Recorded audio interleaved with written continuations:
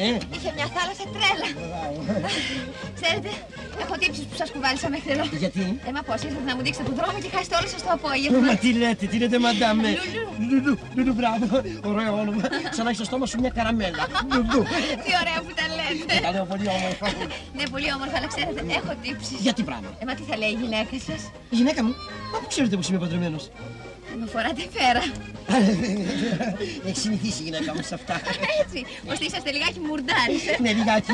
Το έχω αυτό το προτέρημα. Αχ, μας είπε, μας βλέπει ο κόσμος. Πάω να ντυθώ.